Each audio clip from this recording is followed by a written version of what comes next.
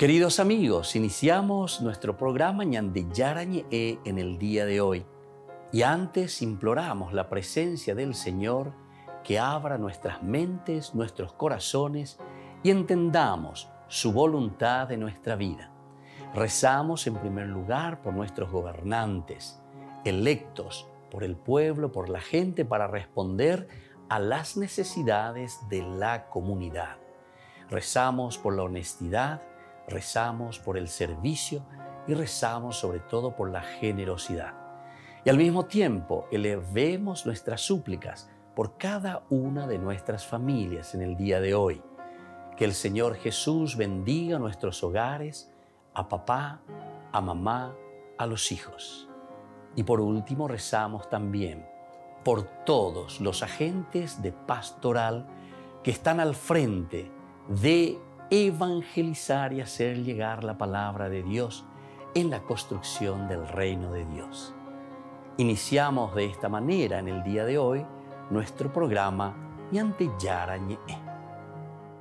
Este programa cuenta con el apoyo de la Fundación Santa Librada. Bienvenidos a Yarañe, un espacio de reflexión donde compartimos con el Padre Víctor Luis Cabañas sus conocimientos sobre el Antiguo y Nuevo Testamento.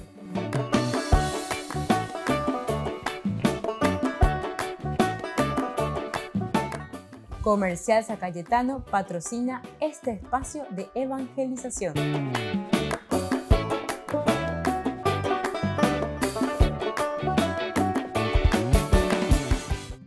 Queridos amigos, estamos iniciando nuestro programa Yaran e Antiguo Testamento. Estamos reflexionando sobre el libro de los jueces. Estas historias tan interesantes, no nos olvidemos que tenemos a los jueces mayores y los jueces menores. Ahora estamos hablando de los jueces menores, a pesar de que aquí le tenemos también a uno de los grandes, podemos decir mayores, así como los libros proféticos también hacemos la división de los profetas mayores y profetas mayores y menores. El nombre mayores o menores es simplemente por la cantidad de capítulos o narraciones que encontramos sobre ese personaje. En este caso de Sansón tenemos el 13, 14, 15 y 16. Son cuatro capítulos. Entonces entra con un material bastante rico. En primer lugar tenemos que decir que este es un relato popular. Hablemos un poco de este relato popular. Esto ya nos está ubicando dentro de un contexto de narraciones que el autor sagrado fue recogiendo de los relatos y de las anécdotas que corría entre el pueblo, ciertamente, y luego que le da todo el sentido teológico importante para la enseñanza. Y la Biblia siempre apunta hacia un aspecto de enseñanza. Upealo ya poseina, upealo y cual sea ñande, va esa papeñan de yara o peñan de tepe, va esa papeñan de yara, hoy cuame, va esa papeñan de yara o ya peñan de pope, lleva, va a palañan de yepoana. Por lo tanto, al leer los diferentes episodios, porque está ya 13, 14, 15 y 16, que constituyen la historia de Sansón, el héroe actúa con argucias y astucia. Argucias y astucia. Veas entonces la Yeyuguta en estas historias o en estas narraciones que encontramos del juez Sansón. Y él sortea muchas trampas. Entonces la uva, la Oye, vos se la ibaía, pero entonces con mucha este, astucia y con mucha argucia puede salvarse de esa situación, defenderse de esa situación. Evidentemente que aquí también está, y el autor sagrado subraya mucho, el Espíritu del Señor que le infunde, el Espíritu del Señor que le toma o posee, y por lo tanto este Espíritu del Señor quien gobierna sus acciones, podemos decir. Por lo tanto, sin tener por los demás un caudillo guerrero, la inspiración narrativa se complace en ridiculizar a los filisteos. Primera cosa. En esta narración popular vamos a encontrar en la historia de Sansón la ridiculización, ridiculización de los filisteos. Oye, pucala filisteo, lleva ese va la Sansón, oye, todas estas cositas. como por ejemplo en el episodio en que Sansón paga su deuda de honor. Imagínense, para pagar su deuda de honor, ¿qué es lo que hace Sansón?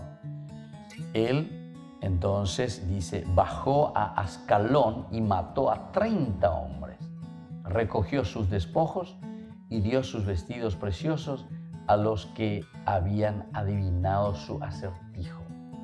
Imagínense, a los filisteos, filisteos que son requete enemigos de ellos. Y esta hazaña recordaría, recordaría también la del joven David, al traer 200 prepucios de filisteos a Saúl para obtener la mano de su hija Nicol. Esto también nosotros encontramos en el primer libro de Samuel, capítulo 18, 27. Vamos a leer un poco, ahora vamos a adelantar un poco porque nosotros sabemos que esto mismo lo vamos a estudiar posteriormente. En el capítulo 18, versículo 27. Dice, comienza así el matrimonio de David con la hija de Saúl. Los servidores comunicaron estas palabras a David y a él le agradó la idea de convertirse en yerno del rey. Antes que se cumpliera el plazo fijado, David partió con sus hombres y mató a 200 filisteos. Luego trajo los prepucios y presentó ante el rey el número completo para poder ser su yerno. Entonces Saúl le dio por esposa a su hija Mical. Bueno, pero había planes antes de Saúl para deshacerse de David. Imagínense, y sin embargo aquí va y él se va a convertir en su yerno. Saúl dijo a David, ahí tienes a Merab, mi hija mayor. Te la voy a dar por esposa, pero tendrás que servirme valerosamente y combatir en las guerras del Señor. En realidad, Saúl pensaba que sean los filisteos y no yo los que pongan, en su que pongan su mano sobre él. Entonces Saúl está pensando que vaya y que pelee con los filisteos, yucayo y después David le respondió a Saúl, ¿quién soy yo y quién es mi estirpe, el clan de mi padre en Israel para que yo sea el yerno del rey? Cuando llegó el momento en que David debía casarse con Merab, la hija de Saúl, se la dieron como esposa a Adriel de Mejolá. Mientras tanto, Mical, la otra hija de Saúl, se había enamorado de David. Cuando se lo contaron a Saúl, éste recibió con agrado la noticia, porque pensó, se la daré para tenerlo atrapado y así caerá en manos de los filisteos. Siempre entonces, a Saúl o calculáis, vaya potan la esa la ya rada vive, a mondoyo ya pero no bajo mis manos, sino que bajo las manos incluso de los filisteos. Volvemos enseguida con más en de Yarañe en Antiguo Testamento.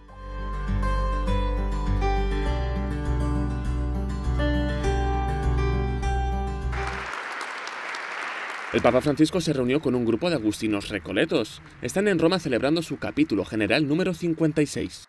Son un tiempo de gracia y una oportunidad para la oración, la escucha, el diálogo y el discernimiento.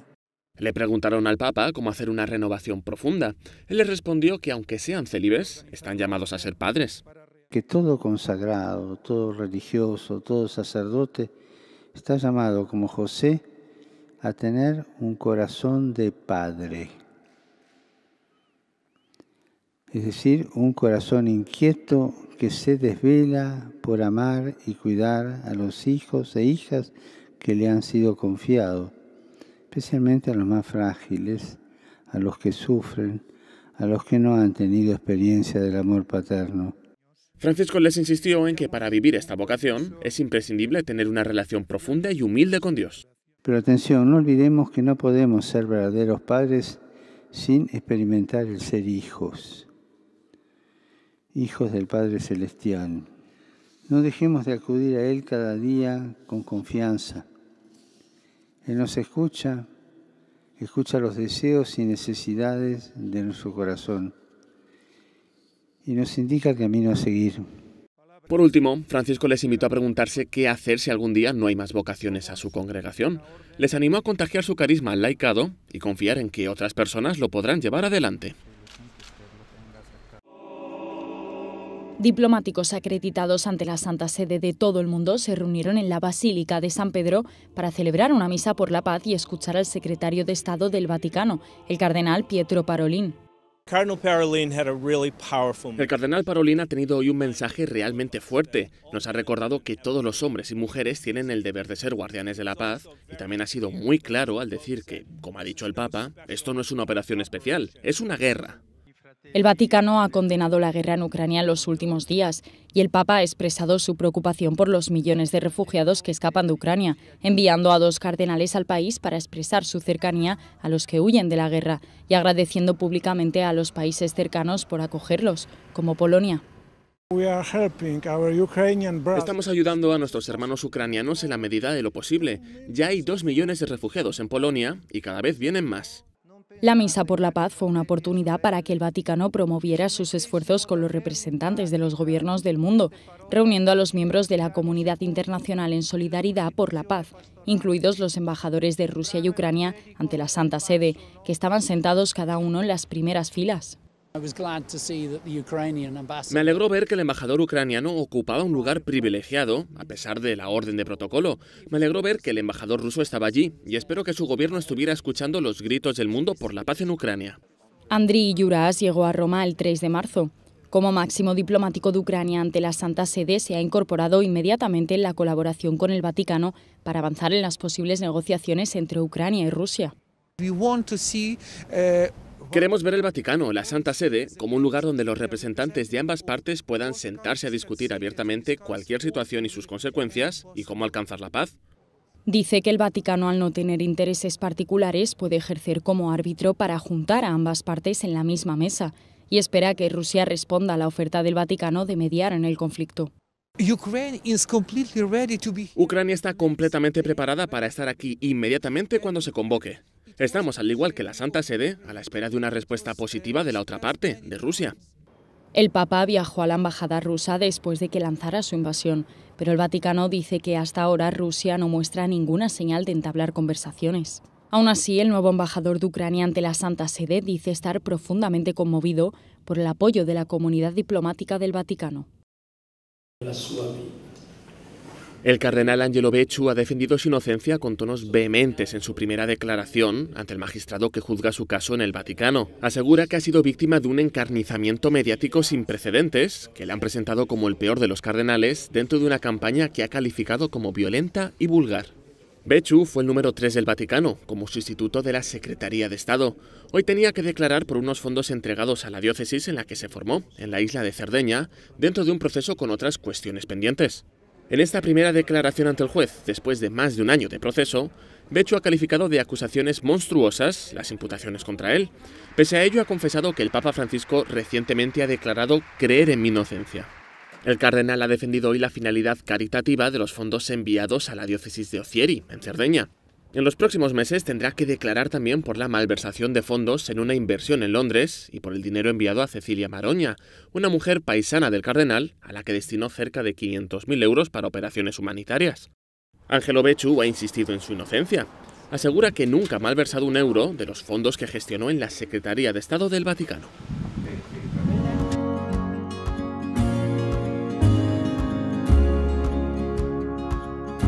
Niños, niños, les invito a participar de nuestra catequesis de todos los días, aprendiendo con Jesús.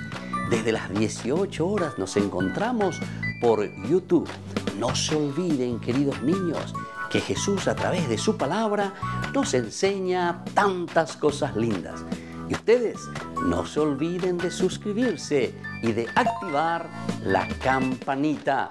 Nos vemos allí, queridos niños, aprendiendo con Jesús.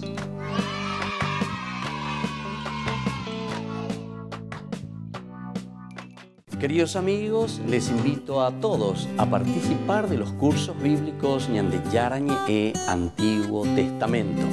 A través de YouTube visite nuestra biblioteca virtual Ñandeyarañe Antiguo Testamento.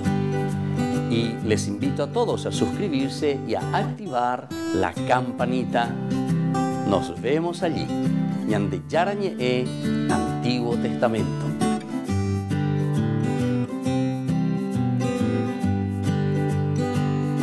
Queridos amigos de Ñande Yarañe, les informamos que la misa diaria cambia a las 6 de la mañana.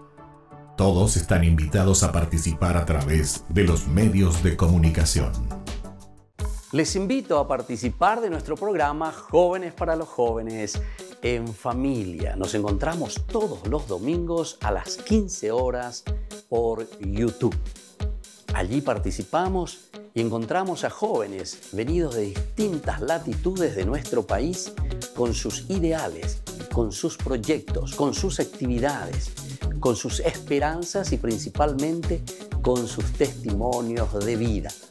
Les invito a acompañarnos todos los domingos por YouTube, Jóvenes para los Jóvenes en Familia.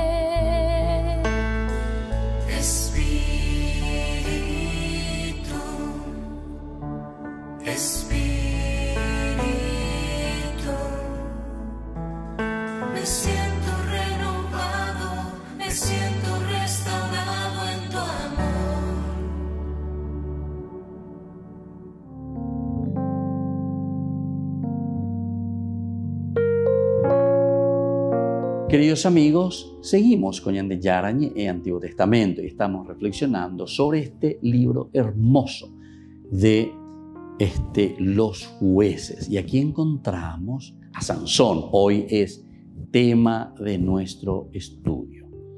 El contraste, decíamos, que es mucho mayor cuando nosotros tenemos en cuenta el nacimiento milagroso que hace de Sansón que sea un nacierro un hombre consagrado a Dios.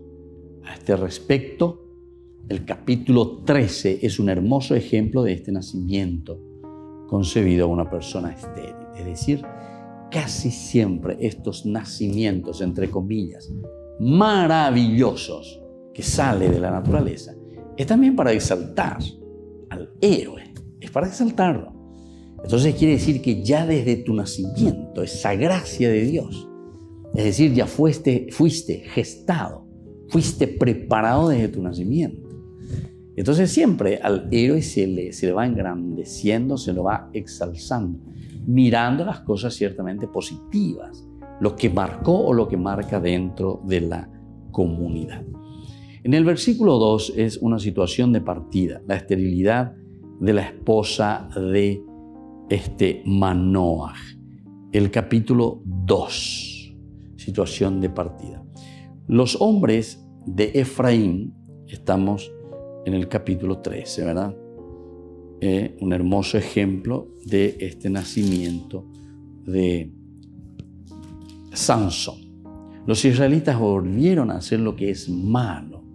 Había un hombre de Sorano, dice el versículo 2, del clan de los Danitas, que se llamaba Moanoa. Su mujer era estéril y no tenía hijos, ¿se dan cuenta? Siempre la esterilidad, siempre entonces la imposibilidad de engendrar, de dar vida. Y aquí entonces se nos está presentando la figura de Jesús como el que da la vida. Jesús entonces no simplemente eh, viene a mirar un poco ya todo hecho, sino que Jesús mismo viene a animar para que el pueblo, para que la gente siga tomando conciencia, sepa lo que tiene que hacer y así va haciendo. Por lo tanto, el contraste es aún mayor teniendo en cuenta su nacimiento milagroso que hace de él un nacir, un consagrado de Dios. A este respecto, el capítulo 13 es un hermoso ejemplo a este retiro. Muy bien, nosotros miramos que el capítulo 13, al ser un hermoso ejemplo de este nacimiento. ¿Por qué? Y porque es una mujer estéril la que está dando a luz. ¿Cómo es eso? Una mujer que es estéril, que no puede engendrar, sin embargo, es la que dará un hijo. En el versículo 2 es ya la situación de partida, la esterilidad de la esposa de Manoah, situación de partida. Ya arrancado, ya te ha acompañado, ya ha caminado contigo y ahora entonces es mi tiempo, situación de partida. La esterilidad de la esposa de Manoah es la primera cosa aquí a subrayar. Luego, en el versículo 3 al 5, la aparición del ángel de Yahvé, que anuncia a la esposa el nacimiento de un hijo consagrado a Dios desde el seno de su madre. Bueno, aquí encontramos algo también maravilloso es un llamado de Dios, es engendrado en el seno de esta mujer, es también la defensa de la vida, es también el empaparse de nuestra propia humanidad, el hecho de nacer en el vientre, en el seno materno, nos está anunciando y nos está diciendo mucha, mucha cercanía de Dios para con el hombre. Y esto es lo que necesitamos, ¿verdad? O mejor dicho, Dios está siempre ahí, Dios está aquí, decimos en la música tan cierto, ¿eh? ahí te va dando las certezas de dónde lo vamos a encontrar a Dios. Y si uno va pasando esta lista, uno se da cuenta que está describiendo la historia de la salvación. Le encontramos a Dios dentro de esta historia. En los versículos 6 y 7 hay un diálogo entre esposo y mujer. En el capítulo, siempre estamos en este capítulo, el nuestro, que es el capítulo que nos habla de esta realidad, de cómo Sansón se va presentando, cómo Sansón se deja también plasmar por la fuerza de Dios. Hay un diálogo entre la mujer y su esposo, la segunda aparición del ángel, la ofrenda sacrificial, aquí también. Cuando se ofrende, se, ofrenda, se oferta, ¿verdad? del sacrificio, es por algo, o sea, no es que esto se pone simplemente porque aquí vamos a llenar y vamos a decir que ofreció un sacrificio, un holocausto a Yahvé, etc. No, esto es bien teológico, ¿verdad? El hecho de que nosotros, ahora que estamos comenzando, estamos cuestionando, estamos viendo puntos nuevos, decimos así, sin embargo nosotros somos siempre fieles. Con eso te está diciendo todo. La ofrenda, el holocausto, nosotros seguimos haciendo, somos siempre judíos. Pero hemos entendido dentro de este judaísmo que el Señor, en la persona del Señor Jesús, se ha realizado la promesa que Dios había prometido. Bueno, aunque el relato del nacimiento de Samuel en el capítulo 1, versículo 1, no obedece totalmente a este esquema, el paralelo no es menos evidente. Un hijo es concebido por Dios a una mujer estéril. Un hijo es concebido por Dios a una mujer estéril. Importantísimo, elemental. ¿Por qué? Porque aquí entonces estamos diciendo que es la fuerza, ¿verdad? La fuerza de Dios. Una mujer que engendra desde Dios. Son los valores, son los principios, es aquel elemento que necesitamos verdaderamente ante el Señor. Y bueno, por lo tanto, este nacimiento de Samuel no obedece totalmente a este pequeño esquema. El paralelo no es menos evidente. Un hijo es concebido por Dios a una mujer estéril. Encontramos puntitos muy delicados. Primero es Dios el que engendra y luego es una mujer estéril. Capítulo 13, 2, 24 había un hombre de Sora, del clan de los Danitas, que se llamaba Manoah. Y entonces que pertenece justamente a este lugar de Sora. Volvemos enseguida con más de Yarañe e Antiguo Testamento. Queridos amigos, seguimos nosotros con Yarañe e Antiguo Testamento. Estamos reflexionando sobre este libro tan interesante de eh, los jueces. Y estudiamos ahora a uno de los menores, los jueces menores, o mejor dicho, el que comienza y se llama Sansón aquí, Sansón, porque Sansón tiene muchos capítulos, 13, el 14, el 15 y el 16.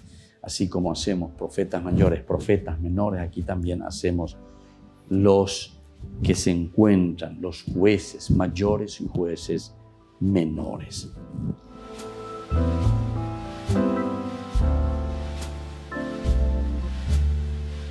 Amigos de Ñande Yarañé, les invito a participar todos los días de la Santa Eucaristía a las 6 de la mañana por nuestra plataforma YouTube Ñande Yarañé.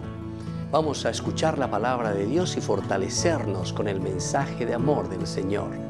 Vamos a renovar nuestra vida y sobre todo vamos a caminar con el cuerpo y la sangre de Jesús que nos alimenta. Les invito a suscribirse y a activar la campanita.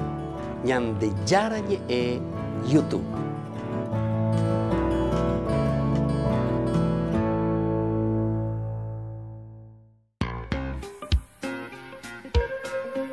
En la ciudad de Luque, la economía se llama Supermercado San Cayetano. Compruebe sus precios bajos en productos cárnicos de primera calidad panificados, verduras, vegetales, frutas, artículos de bazar, ferretería, ropería. Supermercado San Cayetano, Humaitá 168 Casi Capitán Vado, Ciudad de Luque.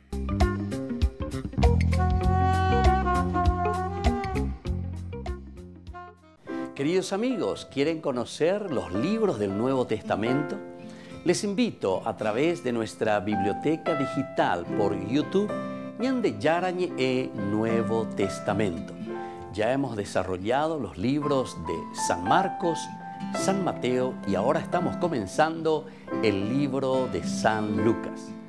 Les invito a suscribirse y a activar la campanita. Nos vemos allí.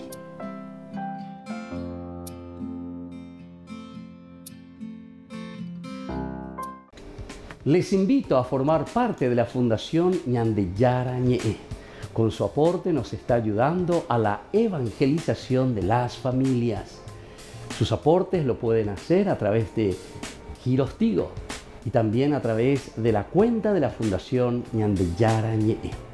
Que el Señor Jesús les bendiga y multiplique su generosidad.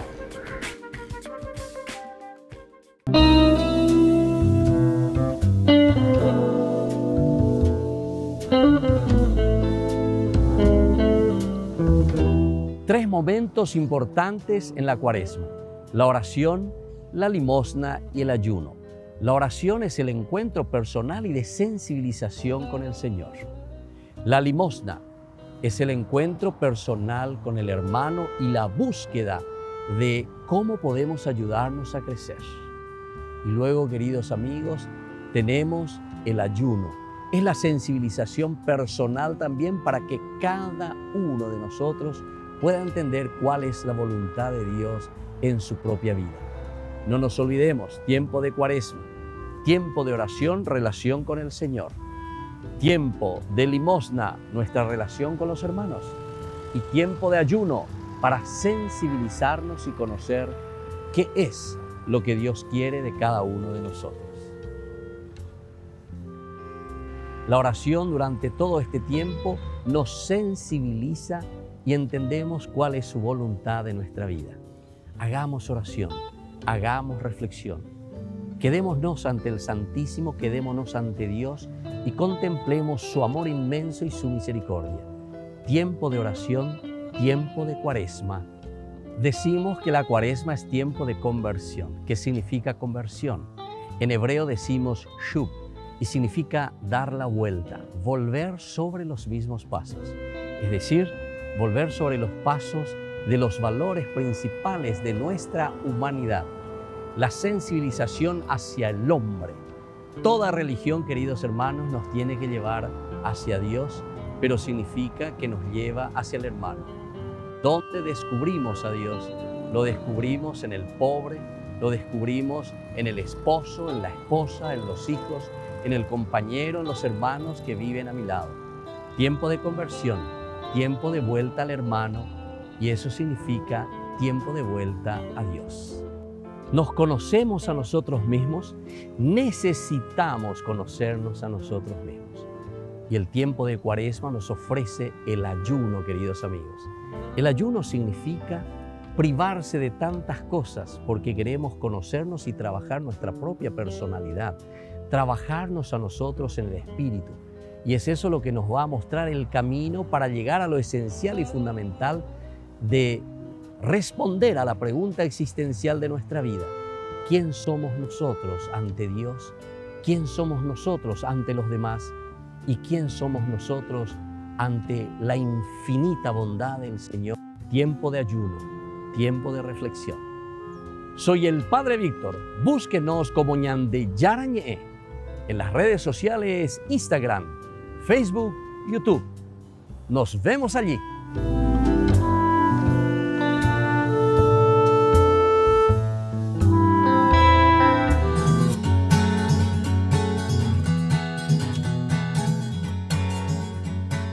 Queridos amigos, seguimos con Yarañe en Antiguo Testamento. Estamos reflexionando y estamos estudiando este libro tan interesante, el de los jueces, y ahora con la persona de Sansón, la historia, la leyenda. Pero Ñandego anga ya esaina, ya cuase va eva la pea peña en su decimos. cuál es la parte histórica verdaderamente.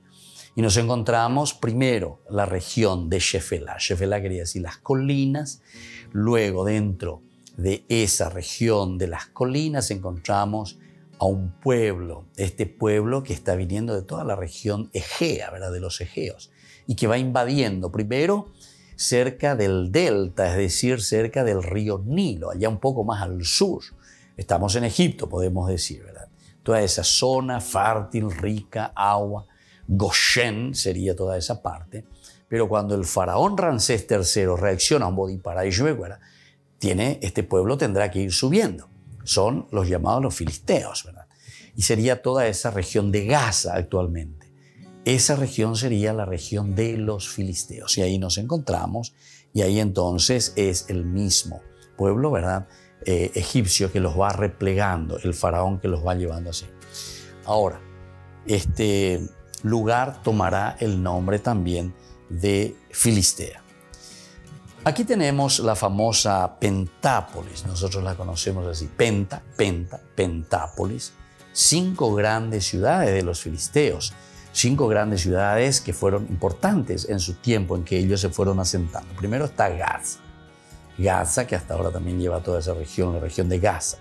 Luego está el de Ascalon, actualmente Ascalon sigue con ese nombre, pero está en la parte de Israel así como geografía, Ascalon. Luego está Asdod, la misma cosa, continúa con ese mismo nombre, Asdod, en el territorio de Israel.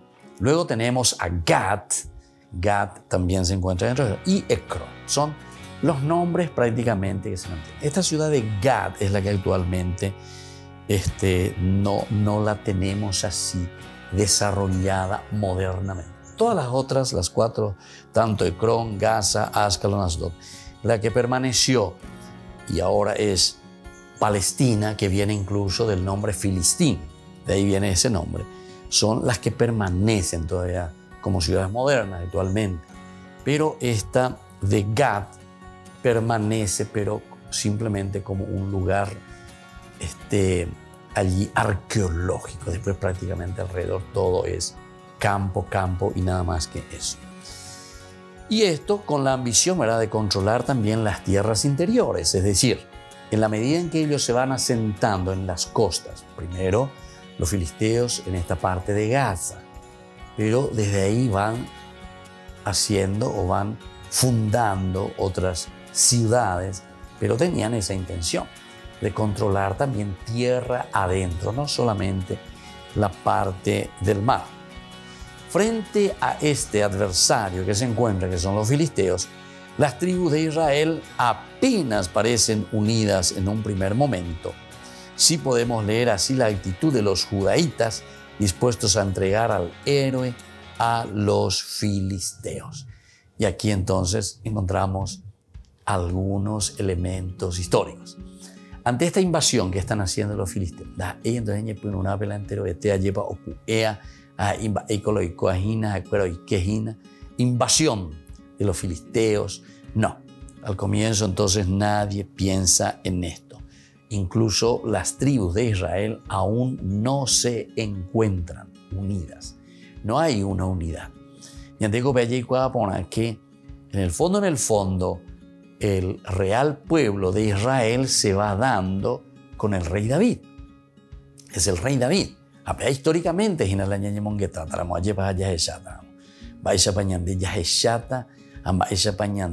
yaicuamita. ¿Qué es, verdad, lo que a nosotros nos va enriqueciendo desde este punto de vista? Es la tierra de, este, de Israel que poco a poco también se va uniendo. No es entonces que todas las tribus estaban todos unidos, no, absolutamente no. Por otra parte, entendemos que al no estar ellos unidos, nosotros en el 15, 9 y siguiente, entendemos que cuando le piden la cabeza, digamos así, la cabeza de Sansón, ellos son capaces de entregarle. Preferimos entregarte a vos porque si no, acuerdo utas de destruir patan, de causa lo ye destruir. A operar el de ponante de Sansón, te dejo, ore, no me entendés. No te vamos nosotros de cierta manera a entregar a muerte, todo lo que sea, no te vamos a matar nosotros, no te vamos a matar nosotros, quiere decir que algo está sucediendo, ¿verdad? Los filisteos, dice, subieron a acampar en Judea e hicieron una incursión por Lejí. Los hombres de Judá les preguntaron, ¿por qué han subido contra nosotros? Ellos le respondieron, subimos para llevar atado a Sansón y hacer con él lo que él hizo con nosotros. Entonces tres mil hombres de Judá bajaron hasta la cueva de la roca de Etán y dijeron a Sansón, ¿no sabes que los filisteos nos tienen dominados? ¿Qué nos has hecho? Él le respondió, yo los traté como ellos me trataron a mí. Ellos replicaron, bajamos para entregarte atado en manos de los filisteos. Sansón les dijo, júrenme que no son ustedes los que me van a matar. Benjamín. Entonces aquí quiere decir que hay tribus aún dispersas, entre ellos todavía no hay unidad, no es un solo pueblo, una sola nación. Sansón les dijo, júrenme que no son ustedes entonces los que me van a matar. No, no, no te mataremos, le respondieron, solo queremos llevarte atado y entregarte a los filisteos. Entonces lo ataron con dos cuerdas nuevas y lo sacaron de entre las rocas. Bueno, esto es lo que encontramos aquí. Esto nos muestra simplemente que aún las tribus de Israel no tenían una unidad. Incluso Sansón, que está luchando entre comillas y que nos está llamando a la unidad de Israel, porque es Israel supuestamente el que es representado en Sansón. Pero aquí, con este episodio, que son las mismas tribus que van, o que lleve de los filisteos, ante la amenaza de los filisteos, entonces ellos mismos, ¿verdad? Van y buscan la manera de entregar a Sansón. Entonces por eso Sansón después les pregunta, ¿son ustedes que me van a llevar atado? Pero júrenme, júrenme. Dajemos ahí pena se yucata lleva. Entonces le dan esa confianza. No, no somos nosotros. Simplemente nosotros te vamos a atar y te vamos a entregar a los filisteos. Volvemos enseguida con más eh, Antiguo Testamento.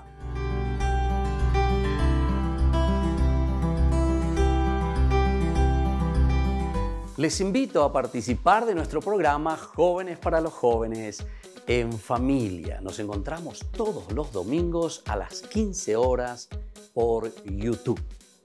Allí participamos y encontramos a jóvenes venidos de distintas latitudes de nuestro país con sus ideales, con sus proyectos, con sus actividades, con sus esperanzas y principalmente con sus testimonios de vida. Les invito a acompañarnos todos los domingos por YouTube, Jóvenes para los Jóvenes en Familia.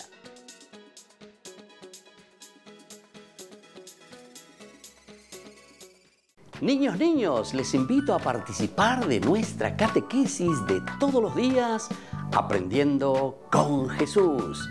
Desde las 18 horas nos encontramos por YouTube. No se olviden, queridos niños, que Jesús a través de su palabra nos enseña tantas cosas lindas. Y ustedes no se olviden de suscribirse y de activar la campanita. Nos vemos allí, queridos niños, aprendiendo con Jesús.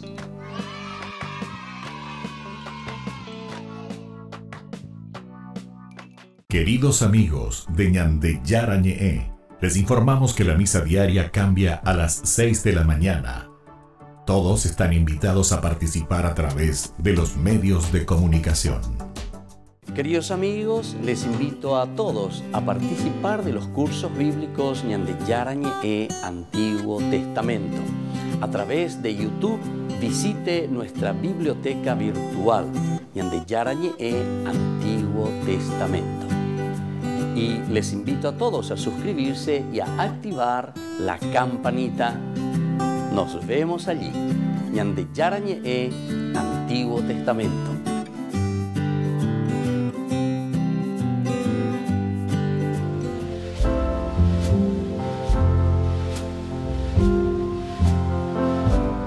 Queridos amigos, estamos iniciando el día de hoy con la palabra del Señor. En este día especialmente escuchamos pedagógicamente el libro de Oseas. Estamos en el capítulo 6, del 1b al 6. Vamos a volver al Señor. Él que nos desplazó nos sanará. Él que nos hirió nos vendará. En dos días nos sanará y viviremos delante de Él. Esforcémonos por conocer al Señor. Su amanecer es como la aurora y su sentencia surge como la luz. Bajará sobre nosotros como lluvia temprana, como lluvia tardía que empapa la tierra. ¿Qué haré de ti, Efraín? ¿Qué haré de ti, Judá? Su piedad es como nube mañanera, como rocío de madrugada que se evapora. Y así continúa el profeta Oseas.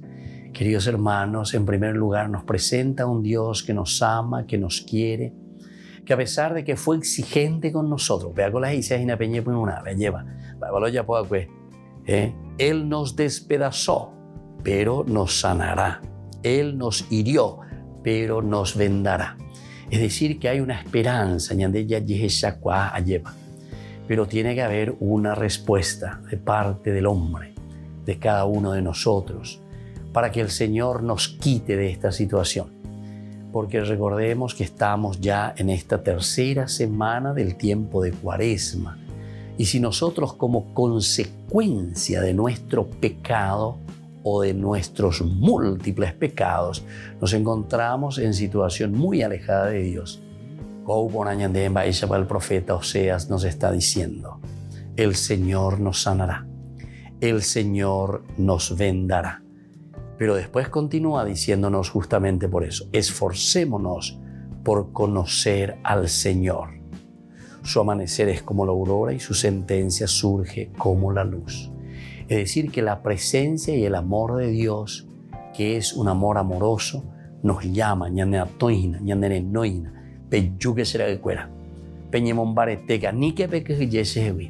porque verdaderamente yo les ofrezco a ustedes el cariño y les ofrezco sobre todo la sanación para que ustedes puedan vendar sus heridas y para que ustedes puedan llegar a la felicidad, a la autorrealización. Queridos hermanos, pidamos esta gracia hoy para nosotros en este camino de cuaresma. Y que la bendición del Señor descienda sobre cada uno de ustedes, el Padre y el Hijo y el Espíritu Santo. Amén.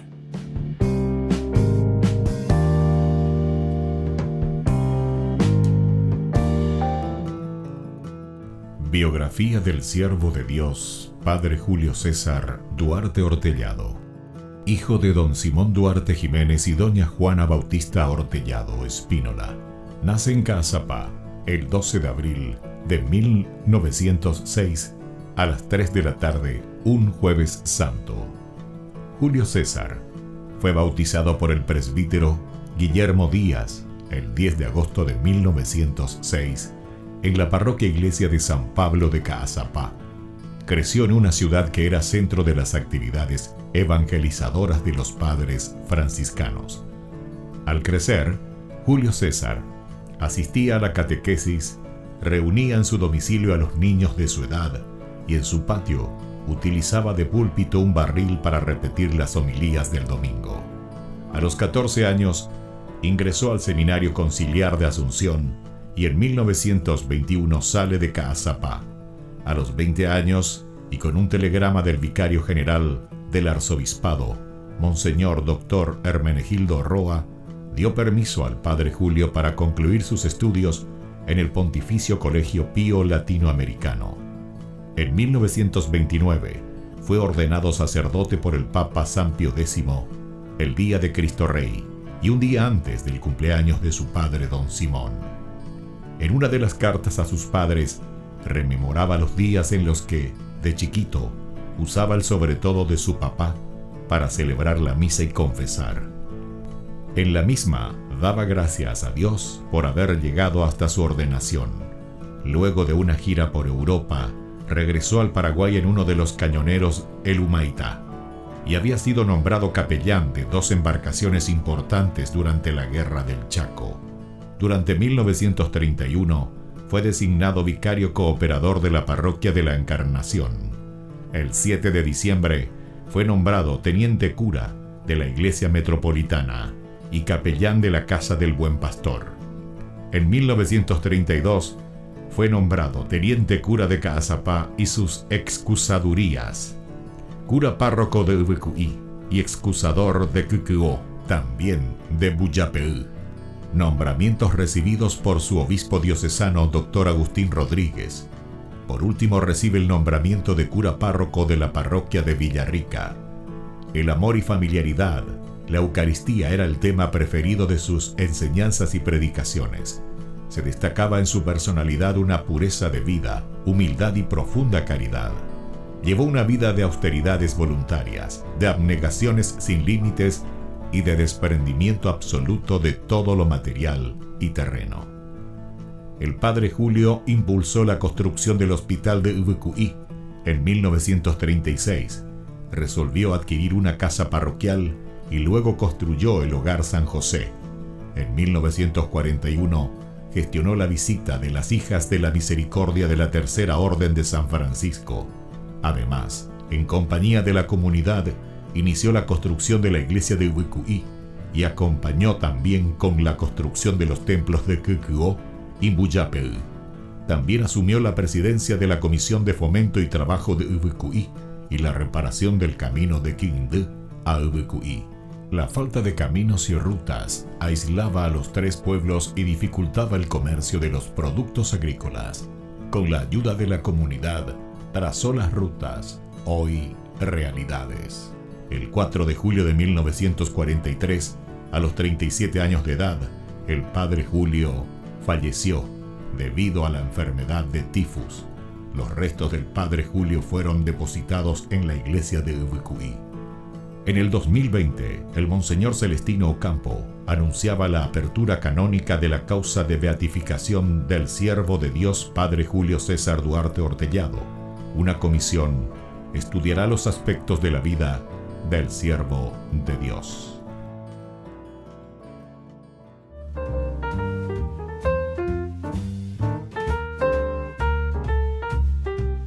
Queridos amigos, seguimos con Yarañe en Antiguo Testamento y estamos reflexionando este libro de los jueces.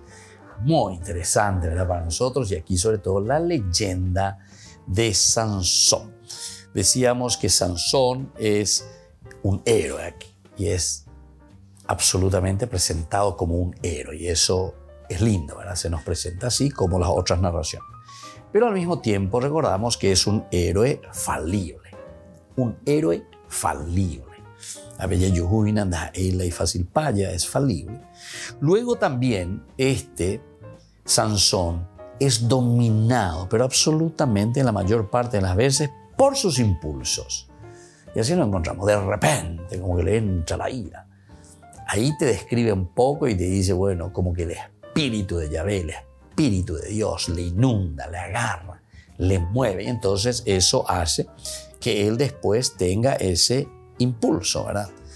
Y bueno, de esta manera, él también tiene otras cositas que son las conquistas femeninas, ¿verdad? Estas conquistas femeninas que, bueno, en fin, le debilitan y todo eso. Ahora, el contraste es aún mayor teniendo en cuenta su nacimiento milagroso. El contraste que encontramos aquí, el nacimiento milagroso. ¿Cómo nosotros encontramos esta cuestión de su nacimiento milagroso? Quiere decir que es como un llamado especial.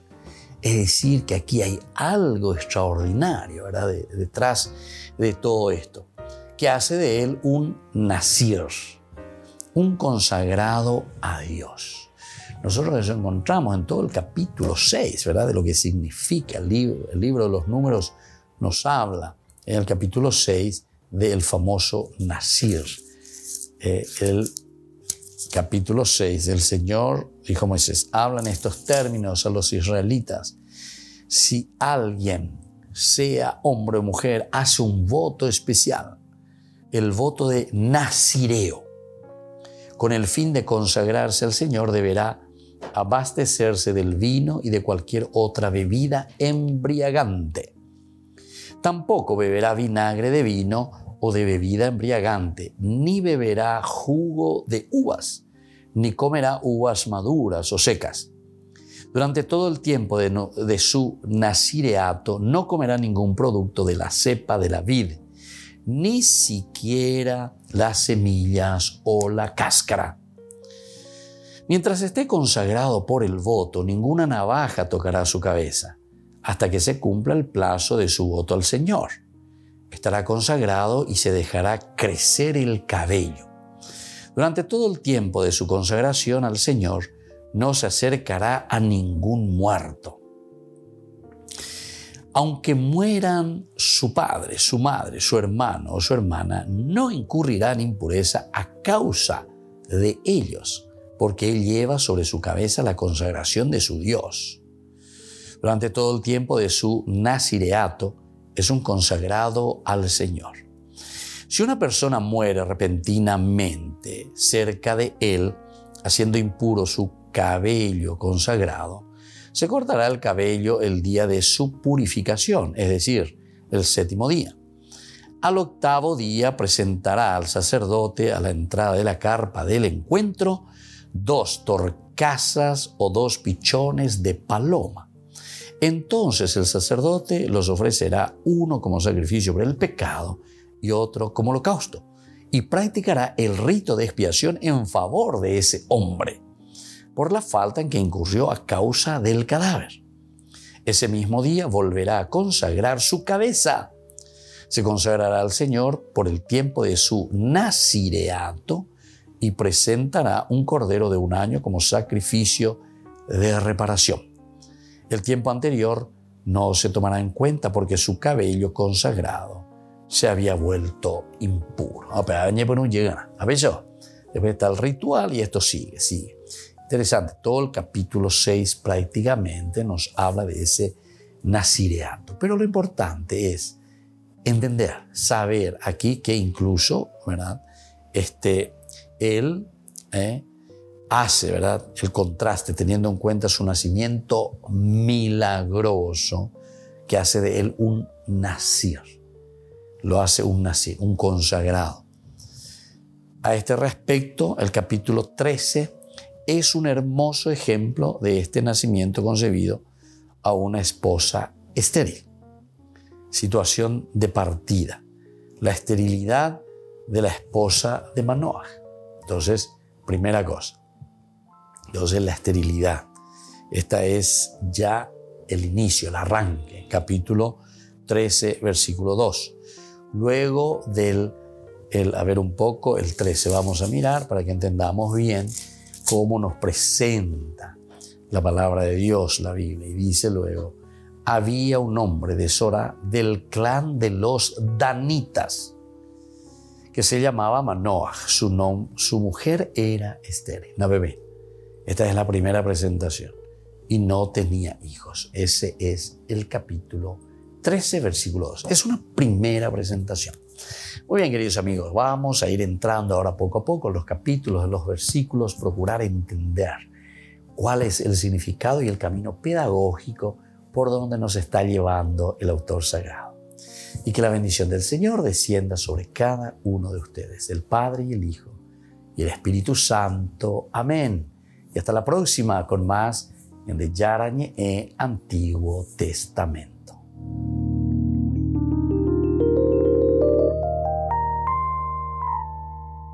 Este programa cuenta con el apoyo de la Fundación Santa Librada. Con esto concluimos nuestro programa Ñande Yarañe con el Padre Víctor Luis Cabañas. Les invitamos a todos a seguirnos todos los días por los medios de comunicación y también en nuestras redes sociales, Facebook, Instagram, YouTube. Que Dios los bendiga y proteja.